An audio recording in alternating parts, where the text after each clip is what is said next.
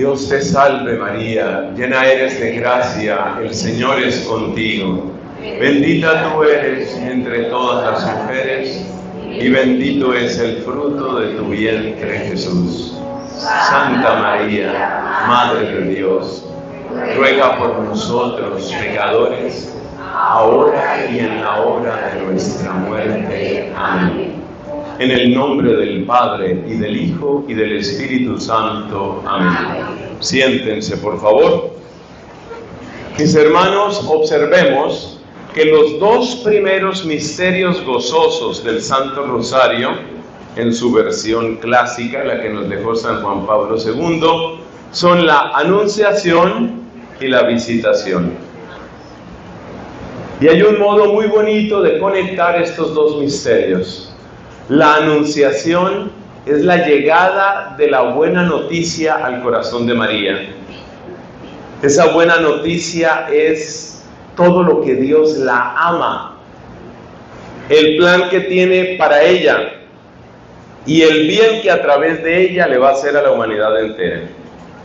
Esa es, esa es la parte de María evangelizada. María recibe la buena noticia. María evangelizada. Pero tenemos después María evangelizadora. María que transmite la buena noticia. María que se convierte en buena noticia.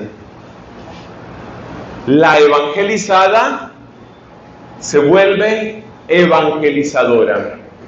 En la anunciación recibe la buena noticia, en la visitación portando a Cristo, irradiando su santidad, dulzura y pureza, es buena noticia ese Evangelio. Evangelizada, evangelizadora. Esa es la misma dinámica de cada uno de nosotros como cristianos. Nuestros obispos lo han dicho varias veces, con particular solemnidad, en la conferencia episcopal de Aparecida en Brasil, donde nos hablaron de cómo la respuesta de nuestra fe católica a los desafíos actuales se sintetiza en dos palabras conectadas.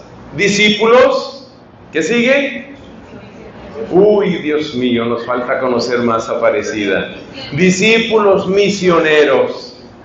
Discípulo es el que aprende, el que recibe la buena noticia. Misionero es el que comparte la buena noticia. A imagen de María, evangelizada por el santo arcángel Gabriel, evangelizadora, en primer lugar, en casa de Isabel. En casa de Isabel. María evangelizada y evangelizadora. Nosotros discípulos y misioneros.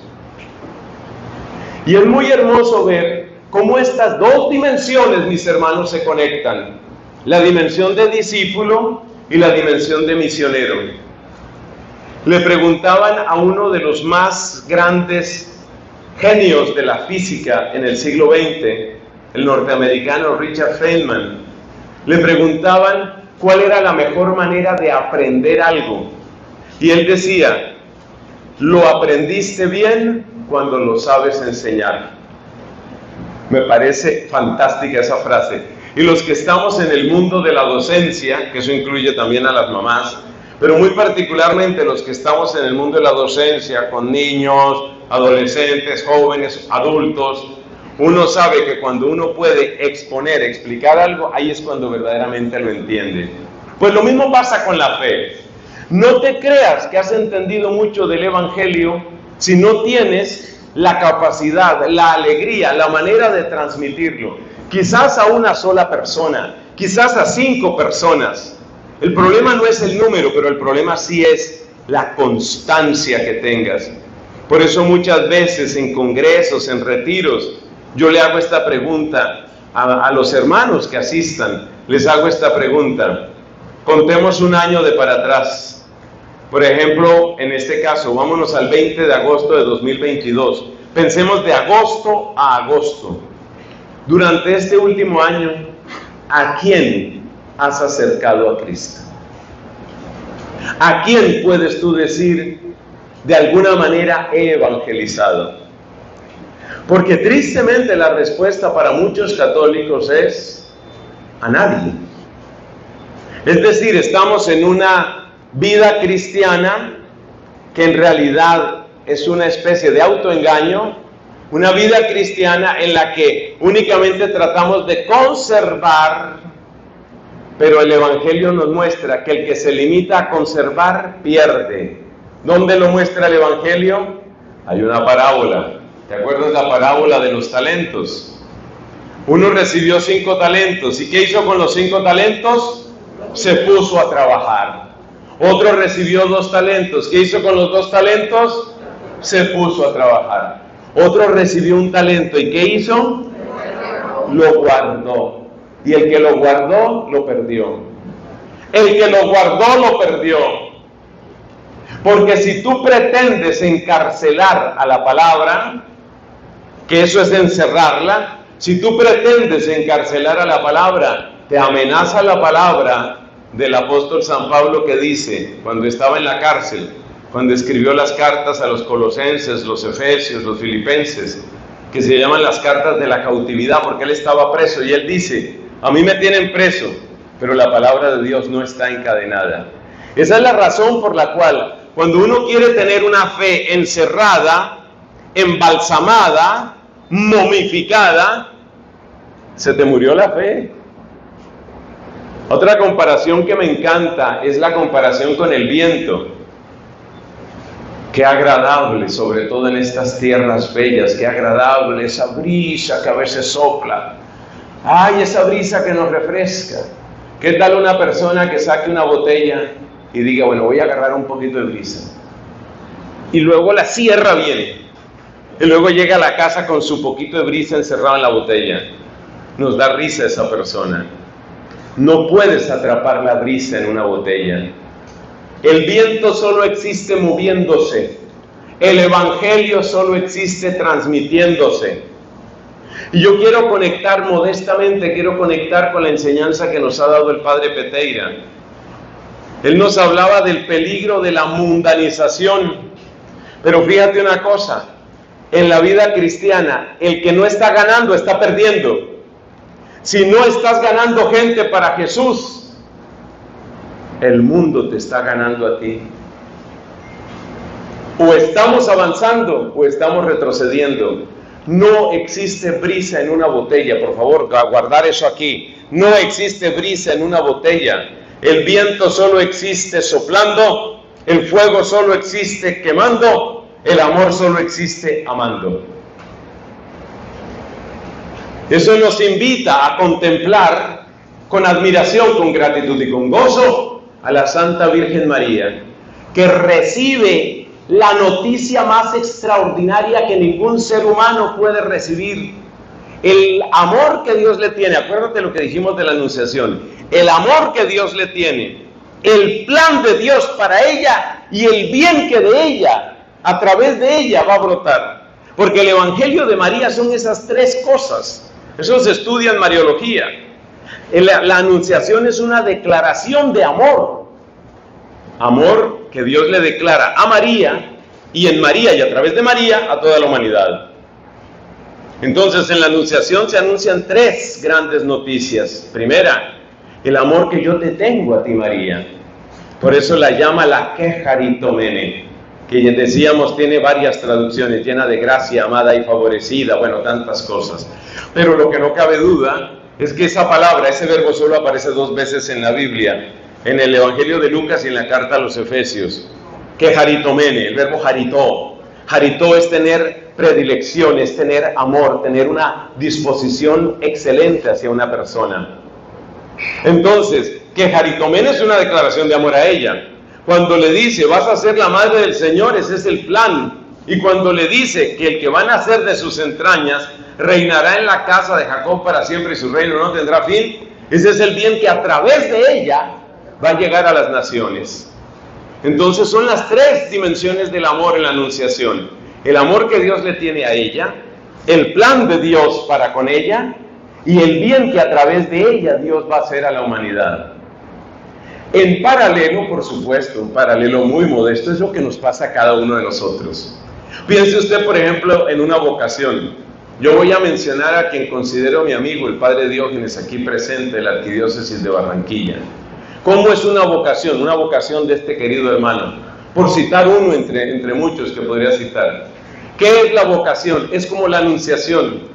La vocación es Cristo diciéndole al Padre, al hoy Padre Diógenes, diciéndole a Diógenes, para mí tú eres muy importante, Diógenes, te amo. Eso es el primer elemento de la vocación. Segundo elemento, tengo un plan para ti. Quiero que seas consagrado, quiero que seas sacerdote, esa va a ser tu vida. Tercer elemento, a través de tu sacerdocio, quiero llegar a muchos lugares, quiero hacerle el bien a mucha gente. Y eso vale para la vocación de cada uno de nosotros. Bueno, pero vayamos de ahí. De ese evangelio que María recibe, viene el evangelio que María transmite. Y la transmisión del evangelio tiene un nombre muy hermoso en la Sagrada Escritura. Se llama servicio. Cristo en dos o tres oportunidades resumió su vida en frases pequeñas. Una de uno de esos resúmenes está en San Juan cuando dice, salí del Padre y vino al, vine al mundo, ahora dejo el mundo y voy al Padre. Ese es como un resumen. Otro resumen es cuando en Lucas dice, el Espíritu del Señor está sobre mí porque me ha ungido para llevar la buena noticia a los pobres. Otro resumen de Cristo es, que es el que nos interesa en esta conferencia, el Hijo del Hombre no ha venido para ser servido, sino para servir. Como ese es el corazón de esta enseñanza, vamos a repetirlo. Yo interrumpo y usted completa. El Hijo del Hombre no ha venido para ser, sino para otra vez, bien grabado en el corazón, porque esa es nuestra vida cristiana. El Hijo del Hombre no ha venido para ser, sino para. Y hay una cosa muy hermosa en el griego del Nuevo Testamento, muy hermosa. Y es que cuando se trata de ofrecer la palabra, cuando se trata de dar la palabra, hay un verbo griego que se utiliza para dar la palabra y ese verbo es el mismo que se utiliza cuando tú ofreces un plato de comida. Así como cuando tú invitas a alguien a tu casa, preparaste algo sabroso y le ofreces a esa persona que viene ese plato, ese es el servicio. Es decir, que el servicio nuestro es en primer lugar hacer partícipes a los demás de la buena noticia, para que en ellos también se cumplan los tres elementos de María. O sea, que también ellos se sientan amados, que también ellos descubran su lugar en el plan de Dios y que también ellos descubran que Dios a través de ellos quiere seguir propagando el bien, quiere seguir propagando la buena noticia. Ese es el gran servicio nuestro. Por eso el servicio cristiano no se puede limitar a las obras de misericordia corporales, que es una de las tentaciones que tenemos hoy en el mundo y en nuestra iglesia. Tenemos una tentación de reducir la misericordia a las obras, únicamente obras llamadas de misericordia corporales, que son importantes, muy importantes, dar de comer al hambriento, dar de beber al sediento, darle con qué cubrirse al que no lo tiene, darle un lugar, un refugio al que no lo tiene. Eso es importante, pero nuestro servicio no puede limitarse a abrigar los cuerpos si los corazones sufren invierno. Nuestro servicio no puede limitarse a iluminar los ojos del cuerpo si hay oscuridad, idolatría, confusión en las mentes de nuestros hermanos. Nuestro servicio, ese plato delicioso, ese plato que le ofrecemos a nuestros hermanos, es siempre la comida del Evangelio. La comida del Evangelio. A imagen de Cristo que dijo, como todos sabemos, en la última cena, tomad y comed todos de él. Por supuesto que esa es la Eucaristía, pero la evangelización también es tomad y comer. Tomad y comer. Esa es, la, esa es la evangelización, esa es la predicación. Una buena predicación es algo que te alimenta, es algo que te nutre, es algo que llega a lo profundo de tu corazón y te cambia, te hace fuerte. cuando uno escucha una buena predicación, cuando uno escucha una buena evangelización, uno se siente fortalecido. Uno dice, bueno, ahora sí, ahora sí, ya estuve en el Congreso, ahora sí salgo y ah, aquí tengo que batirme con el que sea. Tenemos que tener esa fortaleza, no podemos salir acomplejados, acobardados, doblegados. Hay que salir con esa fuerza, con esa fuerza. El padre lo explicaba muy bien. No es agresividad, pero sí es firmeza. No es humillar a los demás, pero tampoco es permitir que la gloria de Dios sea pisoteada. Entonces somos llamados al servicio. Y hay una característica del servicio que destaca en el caso de María. Nos dice el Evangelio de San Lucas en ese capítulo primero, que María dice así, en aquellos días, María se puso en camino con prisa hacia la montaña. Y esa prisa, spudez, se dice en griego, con prisa, esa prisa de María, es la prisa del amor. El amor tiene prisa. El amor tiene prisa. Y hay varios textos que nos muestran que el amor tiene prisa. San Pablo decía, la caridad de Cristo nos urge. Nos urge. Acuérdate que existen las urgencias. En los hospitales siempre hay un departamento de urgencias. Es lo que urge. Una persona lamentablemente tuvo un accidente, llega, se está desangrando, urge hacer algo por esa persona. Si no se hace algo en dos minutos está muerto, hay que hacer algo, ya, ya. La caridad de Cristo, dice San Pablo, nos urge. Y el mismo Cristo dice en el Evangelio, en un pasaje que todos recordamos, dice hermosamente Cristo, fuego he venido a traer a la tierra y cuánto quisiera que ya estuviera ardiendo.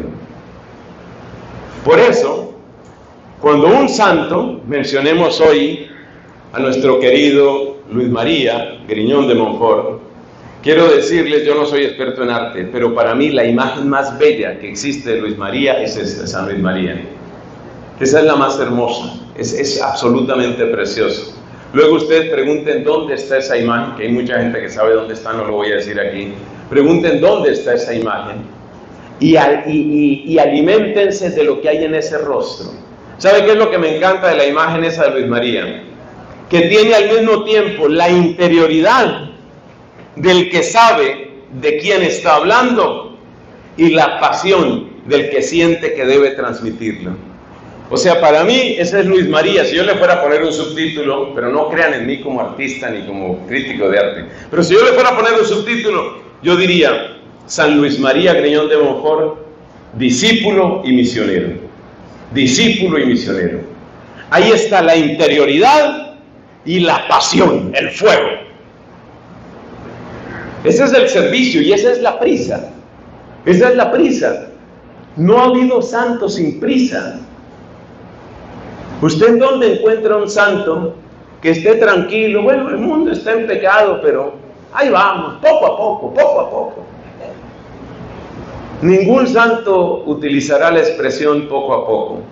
Ciertamente no podemos avasallar a las personas, ciertamente hay limitaciones externas, incluso internas, pero mis hermanos, nosotros no podemos ser gente del poco a poco. Nosotros estamos llamados a tener la prisa de los santos.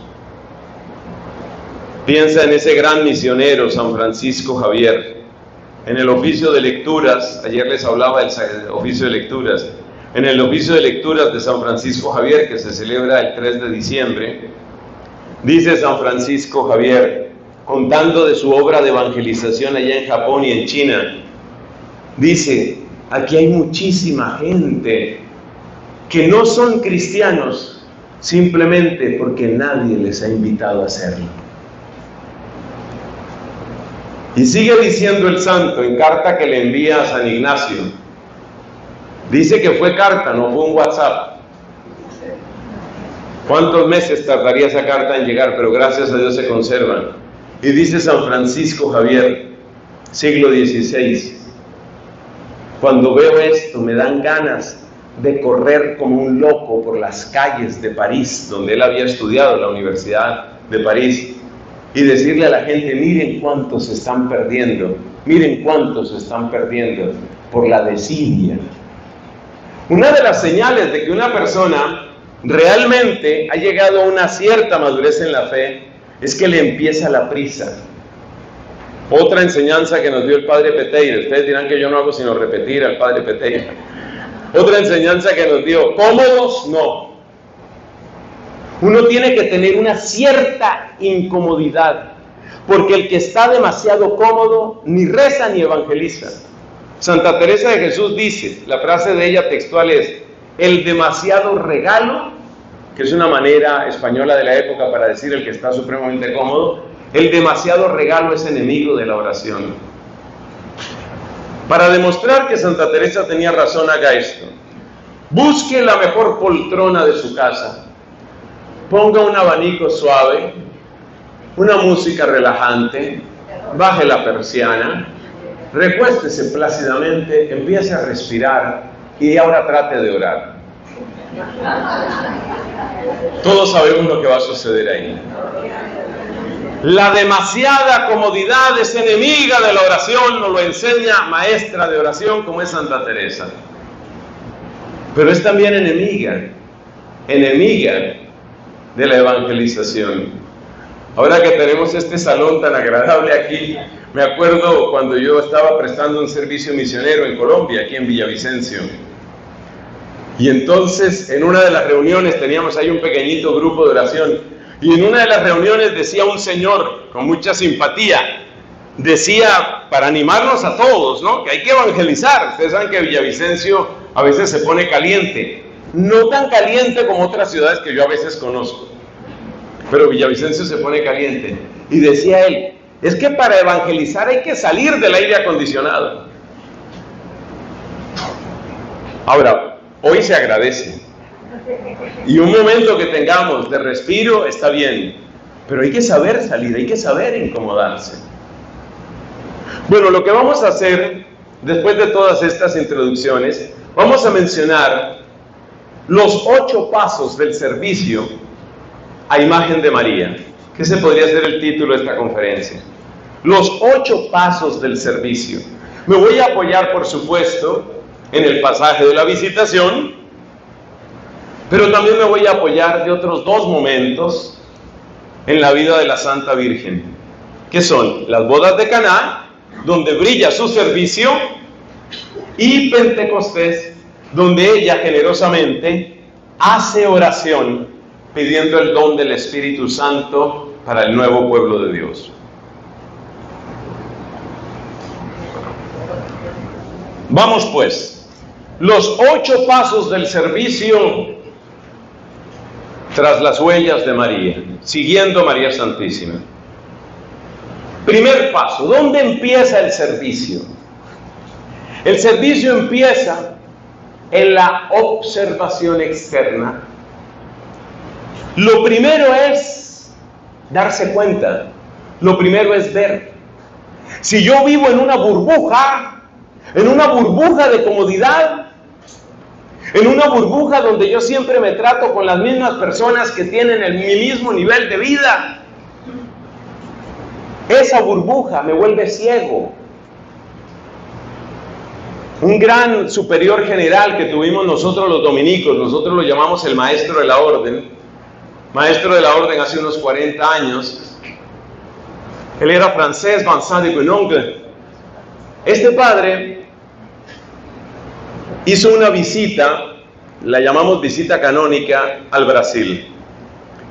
Brasil, lo mismo que todos nuestros países, tiene grandes ciudades con lugares magníficos y muy cómodos, pero con mucha frecuencia alrededor, en los alrededores de la ciudad están las favelas que llaman allá, están los cinturones de miseria, están los tugurios. Y este francés, muy culto, muy europeo, dijo, yo quiero ir a las favelas. A mí no me tengan solo aquí en el centro, yo quiero ir a las favelas. Esto fue muchos años antes de que el Papa Francisco nos dijera, hay que ir a las periferias. Eso tiene sabiduría lo del Papa. Ir a las periferias, es salir de la comodidad también. Y decía él que fueron entonces efectivamente los dominicos brasileros, lo llevaron a las favelas, algunos lugares, eh, obras que tienen allá, parroquias que tienen allá o tenían los dominicos. Y dice él, lo que más me llamó la atención es que la gente quería ser visible. Ellos veían que venía un gran personaje, a veces la gente pues, es un poco difícil explicarle, es el superior general de los dominicos. Ellos veían que venía un gran personaje y querían ser visibles. Muchos de ellos pidiendo ayuda, un poco de comida. Quieren ser visibles. Pero de nada sirve que el necesitado quiera ser visible si nosotros estamos encerrados en nuestra comodidad. Sobre todo por un problema.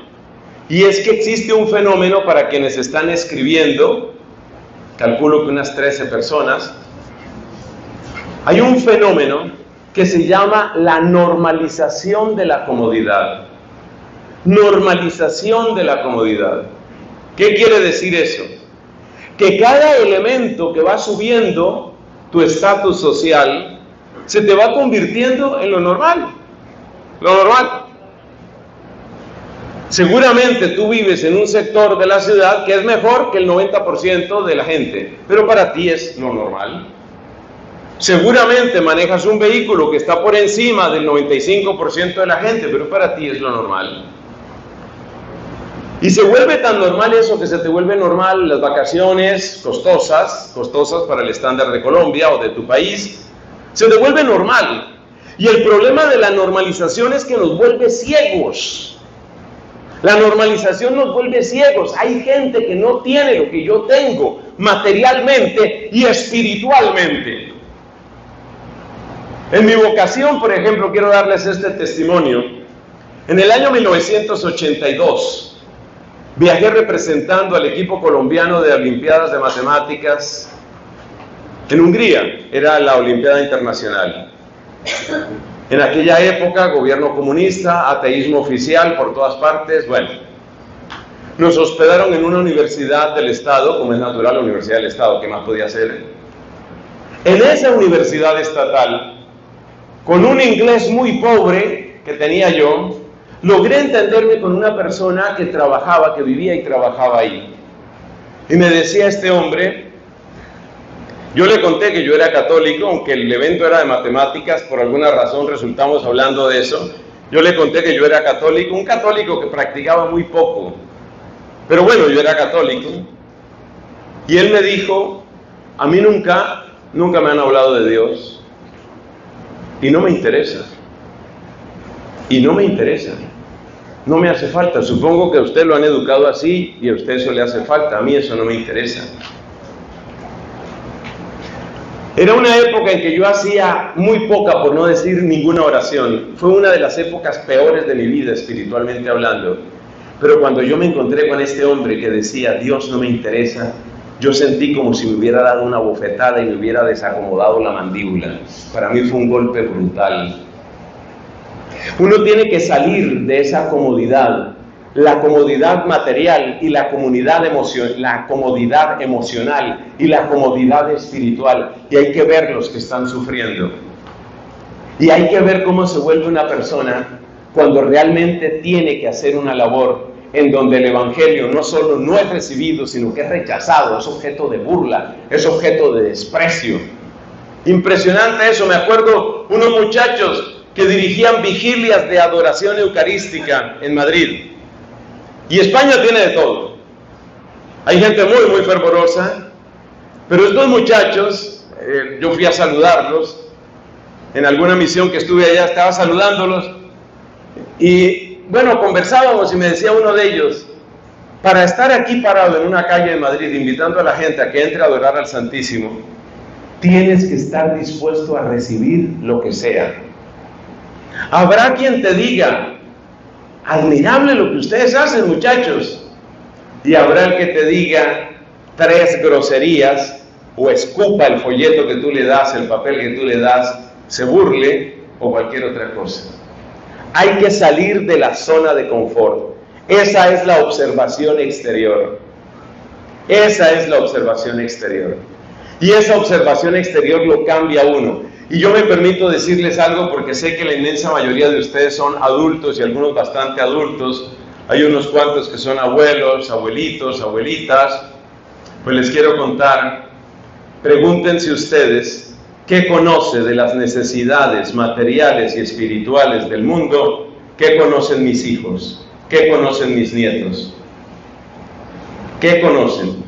Porque probablemente tus hijos o tus nietos únicamente conocen la zona cómoda, materialmente, emocionalmente, espiritualmente. Materialmente, buen nivel económico. Emocionalmente, todos nos conocemos y nos queremos. Espiritualmente, todos somos católicos. Hay que, continuo, con sabiduría, pero hay que llevar a los chicos a que se asomen a las miserias materiales, las conozcan, las compartan, las huelan, las huelan. Uno de los elementos fundamentales en mi vocación fue la orina. La orina fue muy importante. Yo estaba en un grupo de oración después de que mi Dios me rescató de esa frialdad tan horrible en la que había caído por el cientificismo. O sea, el culto al conocimiento científico. La ciencia está bien, pero el culto al conocimiento científico es una idolatría. El Señor me sacó de ahí y yo estaba en un grupo de oración, grupo Espíritu Santo, allá en mi ciudad, en Bogotá. Y un día dijeron, vamos a hacer una visita a un ancianato. Ah, muy bien, vamos al ancianato, perfecto. Yo era un muchachito, unos 18 años, uno de esos muchachos de burbuja, aunque mi familia siempre fue clase media, media, media baja, bueno, no tengo que entrar en más descripción, pero bueno, vamos para allá, vamos al ancianato. Yo me imaginaba que la visita al ancianato consistía en llegar nosotros, los bienhechores, llegábamos con unos bultos. Entonces llegábamos con bultos de café, de cacao, de arroz. Llegábamos, saludábamos a la monjita que dirige allá esa locura con ese poco de ancianitos. Llegamos allá, le decimos, buenos días hermanita, nosotros los buenos nos hemos acordado de ustedes los necesitados y en este momento les vamos a entregar esto. Y la hermanita iba a decir, gracias, qué generosos que son ustedes. Nos tomábamos una foto y volvíamos a nuestra burbuja. Gracias a Dios. Los organizadores de esa visita habían pensado mucho mejor que yo. En primer lugar, no nos quedamos en la puerta, entramos. Y en segundo lugar, que fue de las experiencias definitivas en mi vida, yo un muchacho de 18 años, con ducha en su casa, con desayuno, almuerzo y comida, nos dicen, bueno, ahora nos vamos a repartir. Cada uno va a acompañar a uno de estos abuelitos durante una hora, conversen con ellos, conózcanlos. Y le faltó decir algo importante, huelan. ¿Por qué destaco el olor? Porque apenas entro en la habitación donde estaba el abuelito que me tocó a mí, penetrante olor de amoníaco aquí en la nariz. Olía bastante a orina y la orina fue importante en mi vocación. Eso no se lo van a oír decir a muchos sacerdotes, pero eso lo estoy repitiendo. La orina sirvió para mi vocación. Porque al sentir ese aroma penetrante y quedarme una hora ahí, a los cinco minutos la orina no importaba. A los cinco minutos importaba un ser humano que no recibía visita de nadie, olvidado de sus nietos, olvidado del Estado, estorbo para todo el mundo, ahí, recogido de caridad. Entonces, por eso les estoy diciendo, propicien ustedes, por favor, les digo en nombre de Cristo y de María, propicien ustedes que sus muchachos, sus nietecitas, esas nietecitas princesas que ustedes tienen, esas nietecitas que ya vieron Barbie, aunque espero que no la hayan visto para no darle más dinero a eso, esas nietecitas que ya vieron Barbie tienen que ver otras cosas y tienen que sentir aquí, hay que sentirlo aquí, aquí. No sé si estoy mostrando bien. Hay que mostrarlo. Eso es observar. Eso es salir de la zona de confort. María no se queda, lo explicaba el Papa Francisco en su homilía de la última jornada mundial de la juventud. María no se queda allá en Nazaret diciendo, qué tan alta dignidad la que yo tengo. Eh, por favor, eh, criada mía, tráeme aquí un espejo para ver toda mi grandeza. Ella sale. Ha oído, ha oído. Tu pariente Isabel está de seis meses. María hace cuentas, es una mujer mayor. ¿Quién la está ayudando? Eso es observar. Segundo punto, son ocho. Segundo punto, hay que conectar interiormente. Como han dicho muchos grandes predicadores, saquémonos de la cabeza que los pobres, y pobres es no solo pobres materiales, ya te dije, es lo material, es lo emocional, es lo espiritual, es lo, lo académico. Saquémonos de la cabeza que los pobres son estadísticas. Lo grandioso de la orina, en ese episodio que les cuento, fue descubrir una historia la intención del Papa Francisco, cuando él organiza, cuando él propone, cuando él instituye la Jornada Mundial de los Pobres que se celebra en noviembre, no es que tú firmes un cheque, hoy nadie firma cheques además, no es que tú hagas una transferencia electrónica de cuál es la cuenta allá del, hogar ese donde cuidan gente, gente pobre, cuál es la cuenta. Y tú en tu computadora en 30 segundos te volviste bueno y caritativo si no sientes el olor, si no sientes la mano encallecida, si no hundes tu mirada en esos ojos que tienen tantas preguntas, todavía no ha empezado el servicio. Eso incluye mucha gente, eso incluye nuestros jóvenes. A mí me tiene muy preocupado el estado actual de la juventud, porque veo que muchos jóvenes rehuyen la mirada. Rehuyen la mirada, no solo la mirada del sacerdote, rehuyen la mirada de los padres de familia, no hablan, no se comunican, se aíslan. Eso tiene que preocuparnos. ¿Qué se está cocinando ahí? ¿Qué está sucediendo ahí? ¿Cómo podemos intervenir? ¿Qué tiene María? ¿Qué tiene María para ellos? Eso tenemos que preguntárnoslo. Entonces el segundo punto es conectar interiormente. ¿Y cuando se sabe que has conectado interiormente? Se sabe que has conectado interiormente cuando tú sientes el peso de lo que la otra persona está llevando. Cuando tú sientes que en tu oración vuelve ese rostro una y otra vez. El fundador de mi comunidad se llama Santo Domingo de Guzmán. Santo Domingo era famoso por su predicación, por supuesto, nuestra comunidad se llama Orden de Predicadores, pero Santo Domingo también era famoso porque después de un día de predicación dedicaba largas horas a la oración. Y uno dice, maravilloso, estaba recargando sus pilas, estaba alabando y adorando al Señor, sin duda.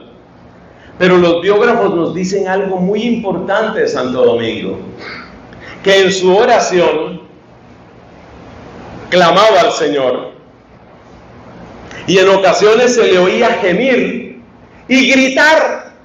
¿Y qué gritaba Santo Domingo de Guzmán después de un día de predicación? Su frase que la tenemos grabada todos los dominicos es, Dios mío, misericordia, ¿qué será de los pecadores? ¿Qué será de los pecadores? Es decir, que Domingo no podía ir a la oración sin llevar el álbum de fotos de los rostros el muchacho cínico que se burló, la chica que está en pecado, la señora que lleva cuatro abortos, el comerciante que se burla de la cruz, el que dejó la iglesia y se volvió cátaro o se volvió maniqueo, eran herejías de ese tiempo. Eso es conectar interiormente. Conectar interiormente es que en tu oración vuelvan esos rostros, que tengas esas personas, que dejes, y aquí viene el tercer punto, que tu agenda sea perturbada. Pero vamos a decirlo de esta manera. Primer punto, observar exteriormente. Segundo punto, conectar interiormente. Tercer punto, cambiar mi agenda. El amor cambia la agenda. Me acuerdo de hace muchos años una chica, amiga mía, muy católica ella, que como buena estudiante, ya era estudiante universitaria en ese momento, como buena estudiante ella vivía muy, muy ocupada, siempre, ya sabes, tantos trabajos, hay que hacer esto, leer estas fotocopias, hacer este resumen, tengo que preparar, vivía muy ocupada. Tanto que para algunas cosas que la invitábamos, con un grupo de consagradas allá en Bogotá, algunas cosas que la invitábamos, no, no, no puedo ir, tengo mucho trabajo, lo lamento, no puedo, no puedo. Esa era la frase de ella. De repente la querida amiga consiguió, así hablamos en Colombia, consiguió un novio. Magia. Magia. No me gusta la palabra magia, pero la voy a usar aquí. ¿Y sabes cuál fue la magia? Que ahora sí, ahora sí tenía tiempo. Y ella no perdió ni un semestre, pero ahora sí le salió el tiempo. El amor te cambia la agenda. Hay que dejarse interrumpir por el amor. Hay que dejarse interrumpir por la necesidad del hermano. El que no se deja interrumpir es idólatra de su propio ego. Escribe eso que te conviene. El que no se deja interrumpir es idólatra de su propio ego. Y según la Madre Angélica, la fundadora de EWTN, hay tres interrupciones que son vitales para reconocer el amor y el servicio. Tres. Que se interrumpa tu agenda que se interrumpa tu agenda. El primero que nos muestra que se dejaba interrumpir la agenda es Cristo. Ese es el primero. Le dice, le manda a decir Jairo, aquel a quien se le murió la, niñita de 12 años, le manda a decir Jairo, mi hija está en las últimas, imponle tú las manos para que se cure. Y Jesús se pone en camino, va hacia allá con una multitud va caminando a la casa de Jairo. En eso ustedes conocen la historia, una mujer que sufría flujos de sangre se acerca, toca el manto. ¿Qué hace Cristo? Atiende a la mujer. Se detiene, pregunta, ¿quién me ha tocado? Los discípulos se burlan, ves que todo el mundo te apretuja y preguntas quién te ha tocado. Pero él seguía buscando, Cristo se detiene. ¿Por qué se detiene? Porque él no quiere ser solamente un hacedor de milagros, él quiere el encuentro personal que será inolvidable para esa mujer. Cuando la mujer le dice lo que le ha sucedido, Cristo le dice, vete en paz, tu fe te ha salvado. Atendió a esta mujer. Ahora sí sigamos con lo que yo estaba. Cristo se deja interrumpir. En la gran parábola de la misericordia, que es la parábola del buen samaritano, bueno, entre varias de Cristo, en la parábola del buen samaritano, el buen samaritano, ¿qué fue lo que hizo? Se dejó interrumpir. ¿Qué fue lo que no hicieron aquel sacerdote y aquel levita? No se dejaron interrumpir. No se dejaron interrumpir. Ellos iban a lo suyo. Yo estoy aquí en lo mío, yo tengo que hacer lo mío, yo tengo que hacer mi agenda, yo tengo mi programa, yo tengo y de vez en cuando es importante dejarse interrumpir. En esto se necesita discernimiento, porque también hay personas caprichosas y también hay personas que quieren acaparar. De eso también tiene unas palabras interesantes el Papa Francisco. Nosotros somos servidores, pero no podemos permitir que el exceso de demanda de algunos acapare toda nuestra atención. Porque hay gente que por sus propias necesidades psicológicas o emocionales pretende acaparar, por ejemplo, al sacerdote. Por eso les pido a ustedes, que sé que aman a los sacerdotes, les voy a pedir a ustedes que tengan ese criterio. Al sacerdote, por supuesto, hay que pedirle lo que hay que pedirle, pero no hay que acapararlo. Porque él necesita tiempo también para su renovarse en su unión con Dios, necesita tiempo de soledad y necesita también atender a otras personas.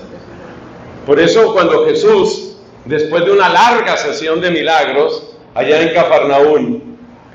Terminó tardísimo, parecía que estuviera en congreso de Consecratio Mundi. Cuando terminó con ese congreso, ya él dijo, bueno, ya me tomaron todas las fotos, ya está. Jesús va a su casa, que seguramente era la casa de Pedro según los estudiosos. Al otro día se levantó temprano, Pedro va y lo busca y le dice, todo el mundo te busca. Jesús no se dejó agarrar. Vámonos a otras partes. También allí tengo que anunciar.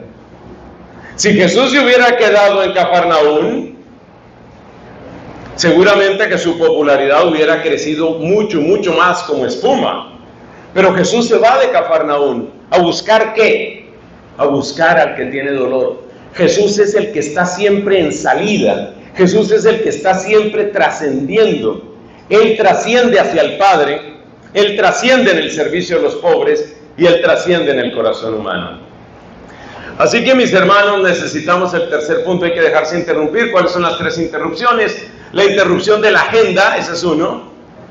La interrupción del presupuesto. Mucha gente conoce la frasecita de Madre Angélica. Madre Angélica, la de EWTN, mujer que muchos consideramos de gran virtud, Dios y la iglesia en su momento se pronunciarán sobre su vida. Madre Angélica decía, pongan la donación a EWTN entre el gas y la electricidad. ¿Qué significa? Méteme en tu presupuesto. Por favor, cuando ustedes organicen sus cuentas con sus elegantes esposos o esposas, cuando ustedes organicen su presupuesto, háganse esta pregunta. ¿Y para la evangelización qué? Háganse esa pregunta. ¿Y para la iglesia qué? ¿Y para los pobres qué? ¿Y para las misiones qué? Esa pregunta, esas preguntas hay que hacerse, hay que dejarse interrumpir el presupuesto.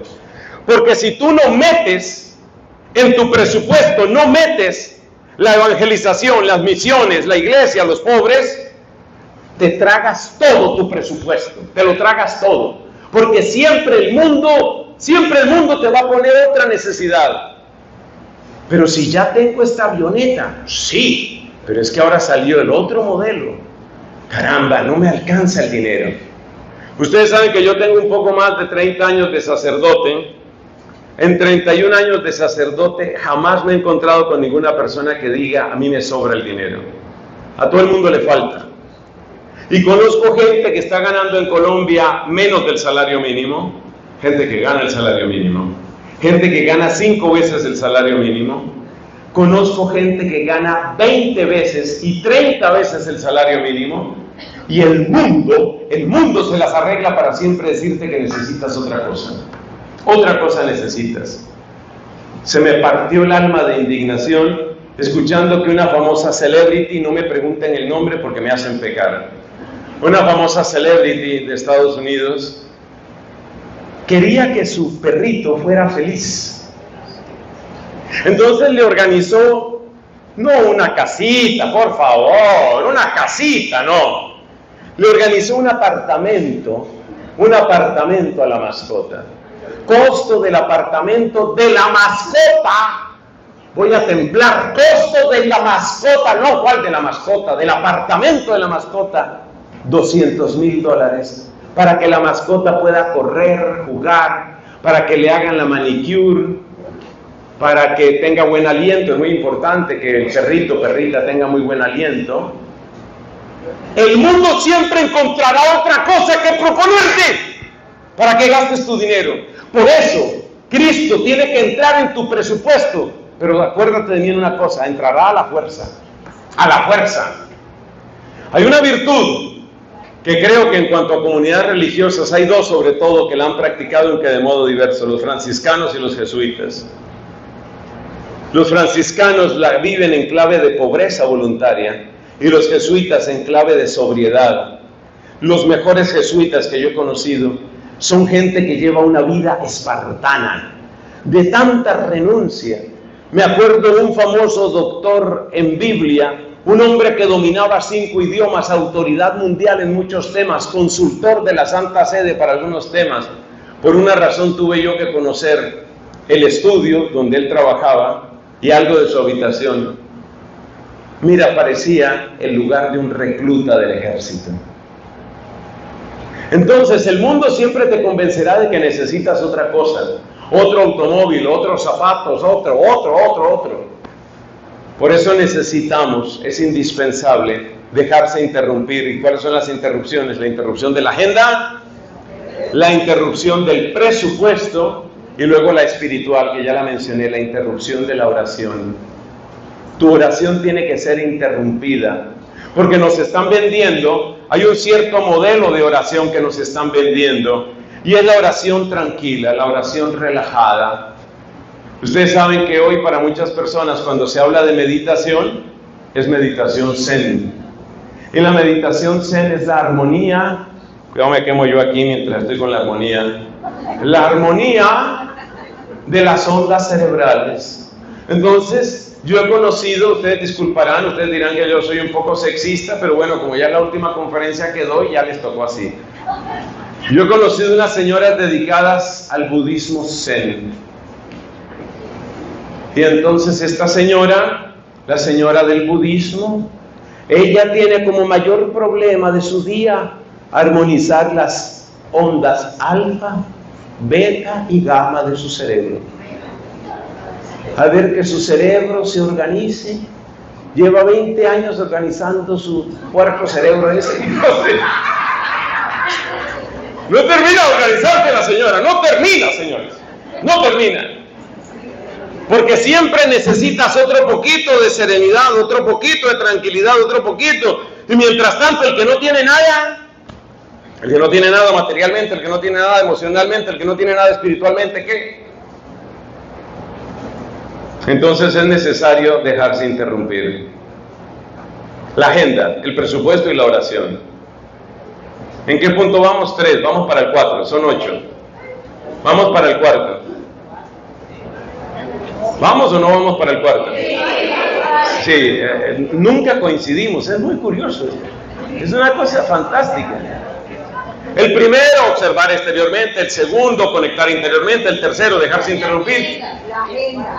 Eso, interrumpir. Dejarse interrumpir es la agenda, el presupuesto y la oración. Eso se subdivide. Por favor, los de seguridad saquen a esta señora. Bueno, vamos al punto cuarto. Después le explican, con cariño le explican.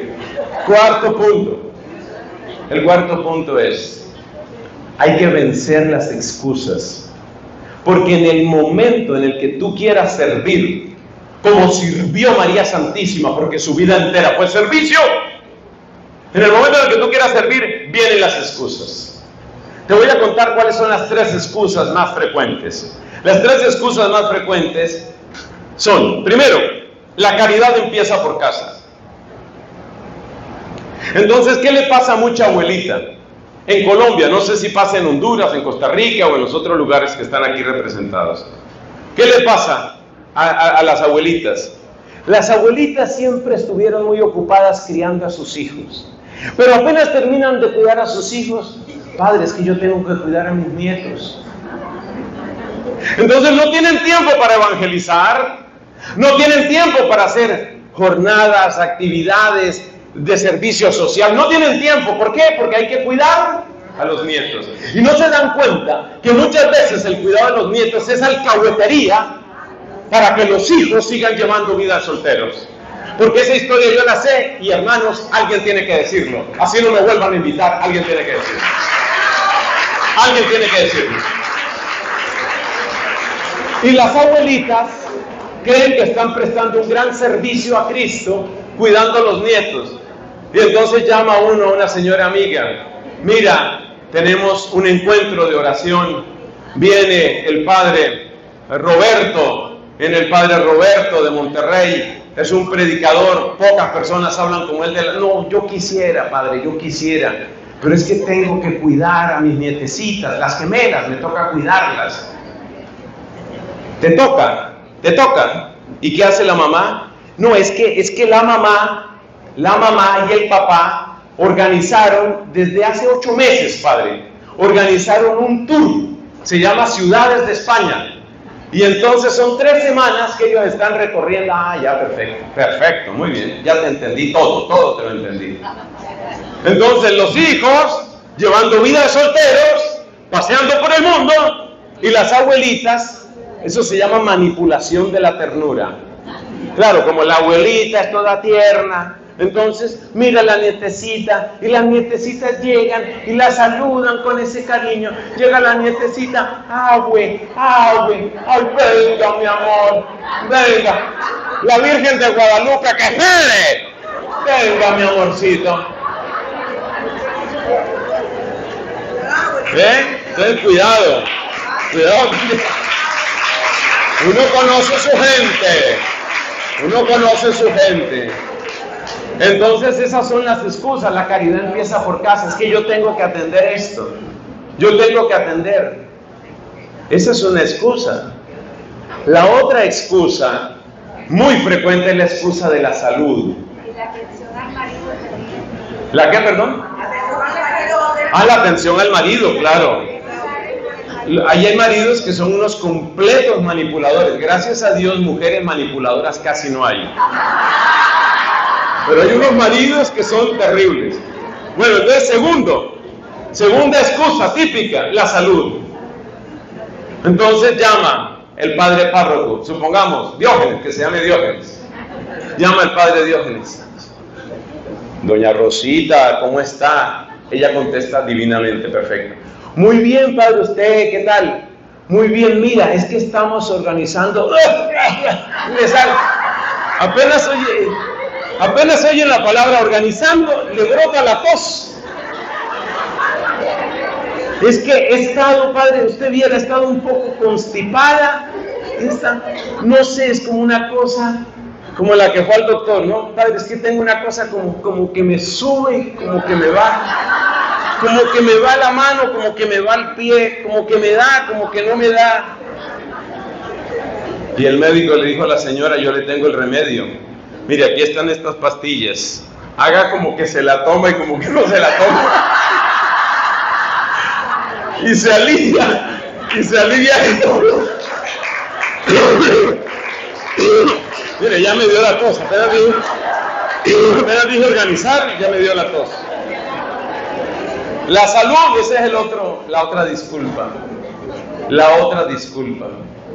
Y esa, eh, y, hay que luchar, hay que vencer las excusas. Hay que vencer las excusas. Y la tercera excusa es la seguridad. Y reconozcamos que en Colombia estamos en un país inseguro. Eso es cierto. Pero hay maneras, hay maneras de luchar contra la inseguridad. Hay maneras de unirnos, hay maneras de, de protegernos porque también hay que cuidar. Yo no voy a, nunca someto yo a nadie que pase por una situación de extrema inseguridad. Entonces esas son las tres excusas típicas. La familia, la salud y la seguridad. Y hay que vencer las excusas, esas y otras que surjan. Llevamos cuatro puntos, señora querida. Llevamos, llevamos cuatro puntos. Cuatro puntos. Primero, observar exteriormente. Segundo, conectar interiormente. Tercero, ¿cierto? Interrumpir la agenda. Luego, cuarto, vencer las excusas. Luego viene el quinto, que era el que le fascinaba a San José María Escribá de Balaguer. Ponte en marcha. Yo no sé cuántos sermones tiene San José María donde simplemente le dice a sus discípulos, porque eran verdaderos discípulos y discípulas de él, donde les dice camino. A ver, moverse, moverse. De hecho, una de las obras más conocidas de él se llama Camino. En marcha, ponerse en marcha. Para eso mi frase favorita es, lo que no existe en tu agenda no existe en tu vida. Porque uno oye que hay gente, uno dice, mira, hay una situación terrible que se está viviendo hay un sector aquí de Barranquilla, está en una situación extrema, se sabe de los problemas de alcantarillado que ha tenido esta ciudad, especialmente en, algunas, en algunos sectores. Eh, hay una epidemia, una auténtica epidemia de gastroenteritis, no hay suficiente medicamento, queremos hacer una jornada, precioso me parece. Y uno le cuenta eso y la gente se conmueve, incluso a veces se conmueve y llora. No solo eso, se conmueve, llora y moquea. Y luego se suena, pero no va. Pero no va, hay que ir. Hay que definir el día y la hora. Yo digo, ¿cuántas personas más, benditos ustedes, pero cuántas personas más hubieran podido asistir a un evento como estos? Eso a mí me preocupa. ¿Cuántas personas más? Y yo le digo una cosa, sí, hay unos gastos que, que hay que cumplir y sé que había que pagar una determinada cuota. Créame que mucha más gente de la que uno piense sí hubiera podido pagar. Y yo estoy seguro. Y yo estoy seguro porque yo conozco, por ejemplo, en esta ciudad, yo conozco lo que la gente paga por una buena silla en el estado, en el estadio metropolitano. Hubiera podido haber mucha más gente. Pero si uno no le pone la fecha y la hora, si uno no se pone en marcha, uno no va. Hay que empezar, hay que partir. La conversión es hoy. La decisión es hoy. El único día que efectivamente tienes se llama Ayer no lo tienes, mañana no lo tienes. Lo único que tienes es hoy. Entonces hay que ponerse en marcha. El verbo de, la, de María Santísima se puso en marcha, a prisa, hacia la montaña. Ese es el quinto elemento. Ese es el quinto punto en el servicio. Es necesario ponerse en marcha. Sexto punto. Vamos llegando al final, amigos queridos. Sexto punto. El sexto punto es la flexibilidad. Y es de lo que más le cuesta trabajo a uno. Sobre todo, personas que tendemos a ser un poco psicorrígidas. La flexibilidad. La flexibilidad es lo que brilla, es una de las tantas hermosuras que brillan en el misterio de la visitación. Cuando María va donde Isabel, que era un recorrido, tú miras el mapa donde está Nazaret donde está la zona montañosa de Judea, probablemente en Karim, en, terminología actual, era un kilometraje, era un kilometraje. Pero cuando María se pone en camino, ella sabía exactamente qué le iba a tocar hacer. No, no. El servicio siempre significa salir de mi centro para poner en el centro, en primer lugar, a Dios y junto al Señor, mi Dios, a mi prójimo. Por eso el servicio siempre implica ser satélite, no ser estrella. El que quiere ser estrella no sirve mucho, no ayuda mucho, porque el servicio no es para que uno brille, es para que uno ayude. Entonces, el servicio requiere de flexibilidad. María va a ayudar a la prima Isabel y va a ayudarla sin saber exactamente qué le toque hacer. Quizás un día tocaba lavar ropa sucia. La madre de Dios lavando ropa sucia. Eso era lo que le tocaba. Quizás un día le tocaba cocinar. Y tal vez ella no sabía todo lo que había que hacer o todo lo que había que cocinar y tenía que preguntar. Otro día tal vez tenía que barrer. La flexibilidad es esa. La mayor parte de nosotros, el que les está hablando es un pecador, la mayor parte de nosotros nos acostumbramos a que el servicio es algo en lo que yo determino las condiciones. Un poco a la manera de lo que está sucediendo en el plano profesional hoy en día.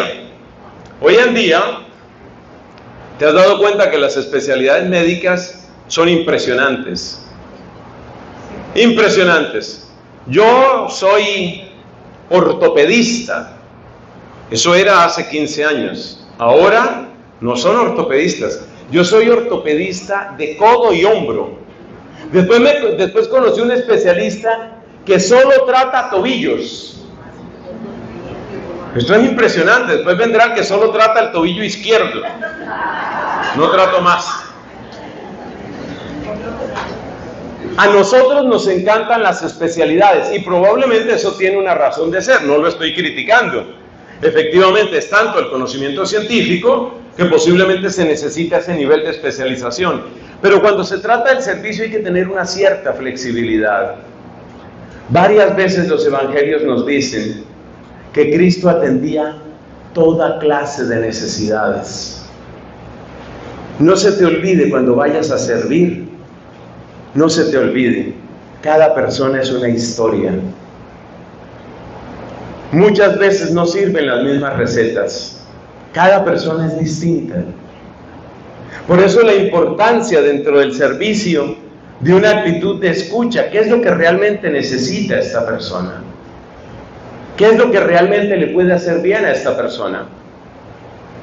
Téngase en cuenta que no todo servicio es solo ternura, caricia y aplauso.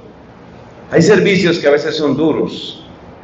Cuando Cristo les hablaba a los fariseos y les decía, entre otras bellezas, raza de víboras, ese también era un servicio. Cuando el dominico Antonio de Montesinos, en el año 1515, en República Dominicana, predicaba aquel sermón de Adviento a los que empezaban a esclavizar indígenas y les decía, esos a los que ustedes están esclavizando, ¿esos no son hombres?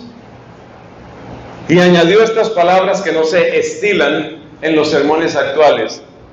Sepan y entiendan, les dice en el sermón con la iglesia llena, y la iglesia estaba llena de españoles, porque el número de bautizados indígenas era ínfimo en aquel momento. Sepan y entiendan que ustedes están viviendo y van a morir en pecado mortal. Con la iglesia llena. Y adivine quién sostenía a esos sacerdotes, adivine quién sostenía a esos frailes, esa gente. Eso es lo que llaman San Juan. Eso es mucha sangre fría, soltar un sermón de esos y después pasar la canastilla, ¿no? Ellos vivían de lo que les daban y así predicaban. Y eso también es misericordia. ¿Por qué doy ese ejemplo?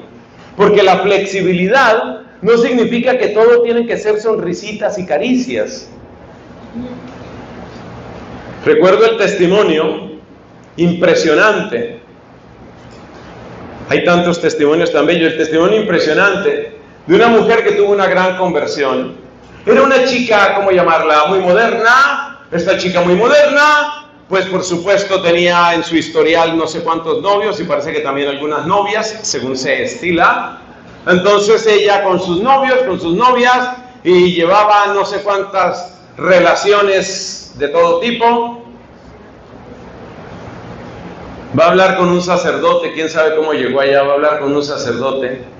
Y el sacerdote, entre otras cosas, le dice, usted se da cuenta que usted se está prostituyendo y le pagan con compañía. Qué bofetada tan horrible, pero eso la despertó. Ahí empezó el proceso de conversión de ella. Yo no estoy diciendo que haya que tratar así a cada persona, pero en ese momento, a esa persona, dicho por ese sacerdote, con la gracia que el Espíritu Santo le dio, en ese acontecimiento, le sirvió a ella. Por eso la flexibilidad es en primer lugar disponibilidad al Espíritu. A veces hay que hablar fuerte, a veces hay que hablar suave, a veces hay que escuchar mucho, a veces hay que hablar mucho. A veces hay que hacer una presencia prolongada, otras veces, como veremos en el último punto, hay que despedirse. Entonces hay que tener flexibilidad. Como María en la visitación, aquí qué es lo que hay que hacer, aquí qué es lo que corresponde. Nos vamos al séptimo punto. Amor de gratuidad. El séptimo punto es amor de gratuidad. En el Evangelio, Cristo nos enseña que hay dos modos principales de amor. El amor de transacción, que es el de los fariseos, y el amor de gratuidad, que es el del Padre Celestial. El amor de transacción lo describe Jesucristo con palabras como estas. Si ustedes aman a los que los aman, ¿qué mérito tienen? Si ustedes saludan a los que los saludan, ¿qué mérito tienen? Si ustedes invitan a alguien presumiendo que después los van a invitar a ustedes, no hacen nada extraordinario. Ese es el amor de transacción. Pero el amor de transacción no tiene lugar en el verdadero espíritu de servicio. Porque la mayor parte de las personas que necesitan apoyo emocional, espiritual, físico, económico, académico, cualquier tipo de miseria que tengan, la mayor parte de las personas no tienen con qué retribuir. Y muchas de esas personas ni siquiera saben agradecer. Porque yo también conozco algunas personas que son muy generosas, pero cuando se enfrentan con la ingratitud, cuando se enfrentan con que la gente a la que van a servir ni siquiera da las gracias, su caridad se va al suelo. A este respecto les recomiendo la lectura de San Vicente de Paul en el oficio de lecturas. Yo menciono mucho el oficio de lecturas porque es accesible en internet. Hay una página web que tiene todo el oficio de lecturas, todas las lecturas del oficio de lecturas. Esa página se llama. Gratisdate. Ahora no sé si es .com o .org. Gratisdate. Y ustedes buscan la parte de oficio de lecturas, ahí están todos los textos que yo cito aquí, están ahí. Váyanse a la fiesta de San Vicente de Paul y mire lo que dice San Vicente de Paul. Con mucha frecuencia los pobres son rudos y son ingratos con mucha frecuencia. Entonces el que vaya a servir no puede estar esperando retribución.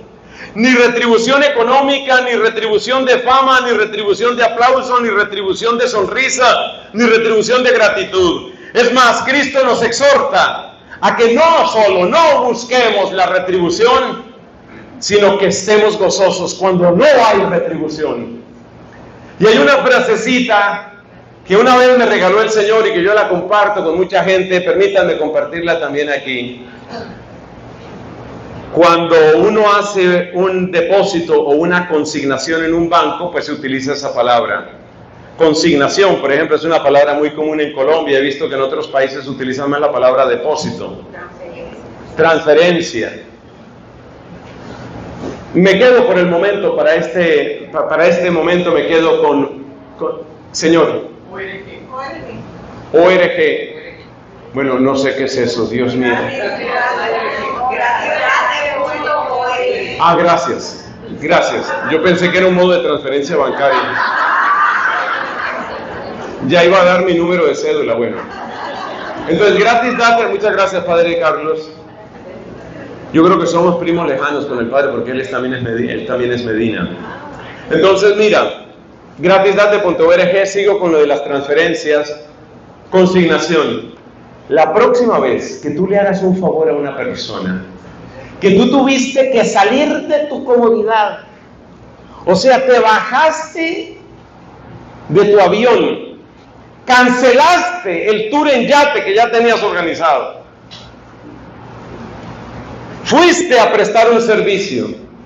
Oigan, en gracias me dieron. Cuando eso te suceda, tú puedes decir en tu corazón, consignación a los cielos. Porque eso es lo que nos enseña Cristo. Eso es lo que nos enseña Cristo. Depositen en el banco del cielo. El que te da las gracias lo hace bien, por supuesto. Pero si tú te acostumbras a que te paguen, así sea solo con unas gracias, si te acostumbras a eso, ya tuviste tu recompensa. Por eso, uno debe educarse en no recibir recompensas.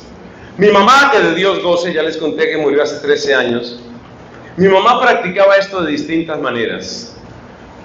La favorita mía de lo que ella me contaba era cuando iba en transporte público. ¿Qué hacía mi mamá? Mi mamá cuando iba en transporte público oraba por personas que nunca supieron de esa oración que nunca la conocieron a ella, que nunca le agradecieron. A mí eso me parece bellísimo. Edúcate en no depender ni siquiera de unas gracias, ni siquiera, ni de una sonrisa, mucho menos de un estipendio, mucho menos. Hay lugares donde la gente es generosa y puede colaborar, pero creo que los sacerdotes que estamos aquí también conocemos otras obras no me lo tomen como presunción, pero hay lugares de misión donde yo he ido y me ha tocado pagar desde el pasaje de ida y de vuelta. Desde el pasaje me ha tocado pagarlo. Y por supuesto, Dios provee, yo no he pasado ninguna necesidad por eso, ni soy ningún héroe. Pero lo que te quiero decir es que tu caridad no dependa de eso, no dependa ni del dinero, ni de las gracias, ni del entusiasmo, ni del aplauso, ni de nada. Que tu caridad no dependa de eso. Cuando tu caridad no depende de eso, consignación a los cielos. Eso es lo que vas a encontrar. Todo lo que ya te pagaron en esta tierra, ya quedó pago. Mire, Dios me ha concedido, le voy a dar otro ejemplo que me tiene muy conmovido. en un grupo de oración, un matrimonio con muchos problemas, ambos asisten al grupo, con muchos problemas, muchas discusiones. Para ser sincero, han estado al borde de separarse varias veces. Conocí una señora que me comentó de la penitencia que está haciendo por ese matrimonio. Ella hace penitencias, a veces en ayunos, a veces, por ejemplo, durmiendo en el suelo o cosas parecidas. Hace penitencias de 40 días. 40 días orando por una pareja que probablemente ni la conoce a ella ni le importa. 40 días incomodándose. 40 días abrazando, mire San Luis María, 40 días abrazando la cruz. Y nadie lo sabe. Yo me enteré casi por casualidad. 40 días abrazando la cruz por un matrimonio que ni siquiera lo sabe. Ni siquiera lo sabe. Eso es amor de gratuidad. Y con ese espíritu uno debe ir a servir. Con ese espíritu. ¿Sabes por qué? Porque hay una canción que dice, I'm unstoppable. Que se traduce, soy imparable. Unstoppable. Nosotros somos los verdaderos unstoppable. Nosotros somos los imparables. La grandeza de Cristo, hermanos, es que nada lo pudo detener. Nada. Las amenazas no lo detuvieron. Una vez llegaron unos y le dijeron, Jesús, maestro, Herodes te está buscando para matarte. Y Herodes no se ponía con cuenticos, ya sabe lo que le hizo a Juan Bautista. Herodes te está buscando para matarte. Mira la expresión de Jesús. Vayan y díganle a ese zorro, ese era el respeto que le tenía Herodes, vayan y díganle a ese zorro, hoy y mañana sigo trabajando, pasó mañana llego a mi final. Y en otro momento dijo, a mí no me quitan la vida, yo la entrego. Tengo poder para darla, para entregarla y para recuperarla. Ese es Jesús. A él no lo pararon las amenazas. Tampoco lo pararon las aclamaciones. El día que celebramos en el Domingo de Ramos, el día de su entrada en Jerusalén, Osana, Osana, Osana, se quedó Jesús regodeándose en esa popularidad, ¿no? ¿Qué nos cuentan los evangelios? Que después de esa entrada maravillosa empezó a predicar en el templo. Y a cosas que decía Jesús en el templo. Él no estaba capitalizando la popularidad de la entrada, estaba pisando callos, como se dice popularmente. Estaba hablando duro. A Cristo no lo detiene cualquiera. Y luego lo traicionan sus propios discípulos. No solamente Judas, sino los otros que lo abandonan. Eso no lo detuvo. Luego esa terrible, espantosa, brutal tortura de su pasión. Eso no lo detuvo. El demonio de frente, de frente contra él, atacándolo con toda la furia del infierno. Eso no lo detuvo. Jesus Christ That's the true unstoppable. Ese es el verdadero imparable. Entonces, para uno tener algo, algo, algo, algo del unstoppable con U mayúscula, del imparable con I mayúscula, para tener algo de lo que tiene Cristo, uno tiene que cultivar este amor de gratuidad. Si uno no cultiva el amor de gratuidad, lo detiene. ¿Y por qué no seguiste sirviendo? Estábamos iniciando esa jornada tan necesitada en ese barrio del sur, allá en Barranquilla, con la epidemia gastroenteritis. No porque fuimos, oiga, y esa gente ni gracias le da uno, ni lo saludan. Te detuvieron. Un rostro duro fue suficiente para pararte. ¿Sabe cómo se llama eso en teología espiritual? Se llama la carne, la hipersensibilidad tuya, a que tienen que tratarme con cariño, a que tienen que decirme, gracias señora, tan bondadosa que es usted. Se ha ganado el cielo. Gracias por estos dos frasquitos de enterogermina que se nos acaban mañana por la mañana. Gracias, señora. Eso es lo que nos encanta, que nos digan gracias. Uno tiene que estar preparado para ser unstoppable. Uno tiene que estar preparado para que con cara dura, con ingratitud, con ataque, con, con lo que venga. No, eso no me va a detener a mí. Pero eso se va logrando poco a poco. Y, y la manera de lograrlo es tener la mirada fija. ¿Fija en qué? En el amor de gratuidad como el Padre Celestial. ¿Cuántos puntos llevamos ahora sí? Nos falta el octavo punto. Que tengo que practicarlo yo en este momento. Hay que saber despedirse. Hay que saber despedirse. Observe cómo termina el pasaje de la visitación. María se quedó unos tres meses donde Isabel y después volvió a su casa. Como el pasaje de la Anunciación sucedió con seis meses de embarazo de Isabel, y María se quedó tres meses donde Isabel, ¿qué concluye usted? Que ya nació Juan, ya estaba la ayuda, ya había otras personas, porque ya Isabel se decidió a salir un poco en público. Acuérdate que Lucas nos dice que Isabel se recluyó, se recluyó. Seguramente ella decía, yo tan vieja y embarazada, le daba como un poquito de alegría, pero un poquito de vergüenza. Cuando ya nació la criatura, ya las vecinas se ayudaron, ya todo estaba distinto. María dijo, misión cumplida, hay que saber despedirse. Hay que saber despedirse. Y la razón principal para despedirse, yo antes pensaba que era la humildad. No, hay otra razón más poderosa. La humildad es una buena razón para despedirse, porque uno no es indispensable. Hay que saber despedirse. Pero hay otra razón todavía más profunda, y es que el querido padre Carlos y el otro padre Carlos y el padre Roberto y este servidor y el padre Diógenes, mira, todos somos simplemente labradores de la viña del Señor. Y eso quiere decir que si yo no me quito a tiempo, si yo no me quito a tiempo, estoy frenando el siguiente paso. Yo soy un paso, una puntadita en el tapiz que Dios está tejiendo. Dios está tejiendo en tu vida un tapiz precioso, que es el tapiz de su gracia y de su amor en tu historia de salvación. Dios está tejiendo un tapiz. Y un día me ha dado a mí el privilegio, a mí Nelson Medina, pecador y todo, me ha dado el privilegio de acercarme a tu tapiz y ayudar con una puntadita una predicación, una palabra, una confesión, yo di mi puntadita.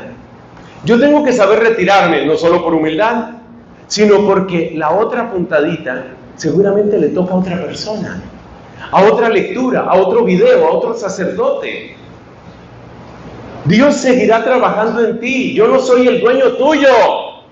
Yo no soy dueño de tu historia. Tu único dueño se llama Cristo nos dice el apóstol San Pedro, San Pedro nos adquirió a precio de su sangre. Entonces uno tiene que saber retirarse.